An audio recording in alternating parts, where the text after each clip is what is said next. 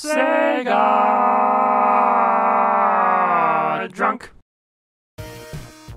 In the book Console Wars by Blake Harris, there's a significant portion dedicated to how Sega eventually became unraveled in the mid 90s. Sega of America president and CEO at the time, Tom Kalinske, talks quite a bit about how Sega was just spread too thinly. Developers had to make games for the Genesis, Sega CD, 32X, the Sega Channel, and the upcoming Sega Saturn. If Sega of Japan hadn't intervened and insisted on releasing the 32X peripheral, Kalinske says that he would have rode the Genesis exclusively past 1995 and into 1996 so that the Saturn could be properly advertised as a big deal and so more games could be available at launch. And yeah, he's got a pretty good point. Sure, hindsight is 2020 and all that, but developers were still cranking out really high quality games for the Genesis as late as 1994. Take Pulseman, for instance. This was a game that was initially released for the Mega Drive overseas and was only available in the US via the Sega Channel. But if this was given a proper release at the time, it could have gone a long way in keeping the Genesis relevant. I mean, this is like a top 30 or maybe even a top 25 game for the console, at the very least, and it was buried on the frickin' Sega Channel.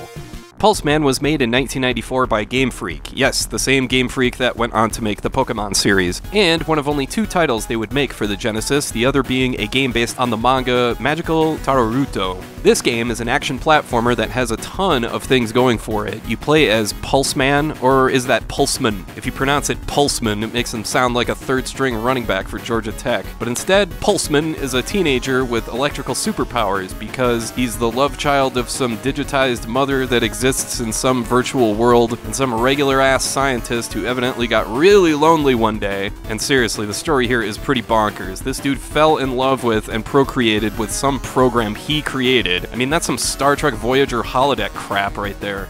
Pulseman has a health meter that can usually take three or four hits, and you get three lives and five continues to get through seven levels broken up into a few different stages. No saves or passwords here, but there is a stage select code. Just press A B C C B A at the Sega logo on the second player controller, then go to the options menu. I always appreciate stuff like that because it gives you the option to see the whole game in a shorter amount of time. The C button jumps, B is your melee attack, and when Pulseman gathers momentum and breaks out into a run and gets covered in lightning or static electricity or whatever that is, you can press the A button to pinball all around the level, reaching areas you couldn't otherwise reach while taking out enemies along the way. It's pretty cool. It reminds me of Sparkster's attack in Rocket Knight Adventures. There's all sorts of other stuff you can do as well, like down and B does a kick, up and B does a backflip. You can also use your charge to throw a fireball, and you can also dash by tapping forward twice. It's an easy temptation to compare this game to Mega Man, what with the whole man motif and having a stage select at the beginning and all that, but it's a lot closer to the first Sonic the Hedgehog with a dash of the aforementioned Rocket Knight adventures, with a vibe similar to the typical fictional, futuristic cyberspace stuff you'd see in movies like Tron or Lawnmower Man. It all comes together as a really fun playthrough and something unique, and it definitely has that first party polish to it. This isn't just another action platformer, it's pretty clear the people that made this one were firing on all cylinders. For example, you come across these warp points that put you in some cyberspace world, and that's where the first boss fight takes place, where you have to dodge this wire hand that rips apart the ground beneath you. That's really cool. There's also parts throughout the game where you have to use your electrical charge to follow these wires, which is a lot trickier than it sounds. You got this crazy boss fight, which is like something out of a treasure game. You get a rival with similar abilities that chases you down and challenges you to a fight. You even get bonus stages that briefly turn the game into Super Breakout. That's a nice touch. Just the overall look of this game is crazy. I mean, just look at this casino setting here. I feel like my TV is gonna burst into flames trying to support all these colors at once.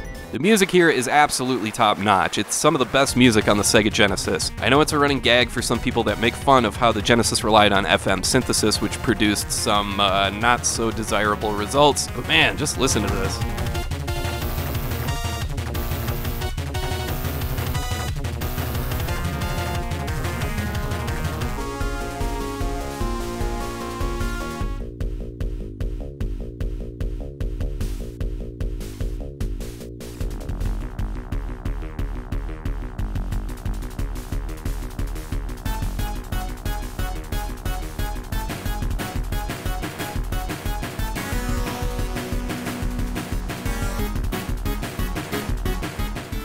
Even the voices sound reasonably good here, too. Due to the efforts of Pulseman, the case was completely solved.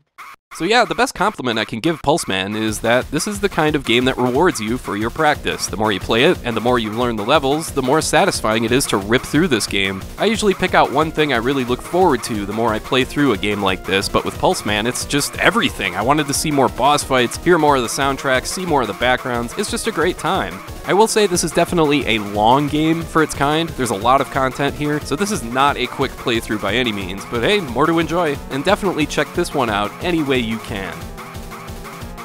Alright, I want to thank you for watching, and I hope you have a great rest of your day.